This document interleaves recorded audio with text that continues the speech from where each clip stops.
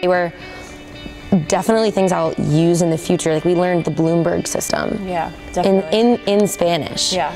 So I mean that's something you kind of you couldn't get. I couldn't not get at the UConn, and we used we learned ethics and literature and Bloomberg, so like financials um, and Spanish language. So I feel like I've I've heard kind of rumors about study abroad, but this program specifically definitely is going to set you up for success when you return to your college.